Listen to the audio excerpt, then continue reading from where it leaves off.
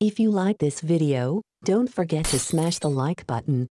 Subscribe and stay informed. Addicted to Macintosh. Hi, I will show you how to get beta updates on Apple TV. To get beta updates on Apple TV here is how to do. First go to settings. Next, on settings, scroll down to system. At system, click on software updates. On software updates, set get beta updates to on and click on agree on the beta software agreement. Next, you can download and install any beta update available or choose to update later. Keep in mind that updates take a while to complete, so be patient. It's that simple. Hope you enjoy this video. Have a nice day.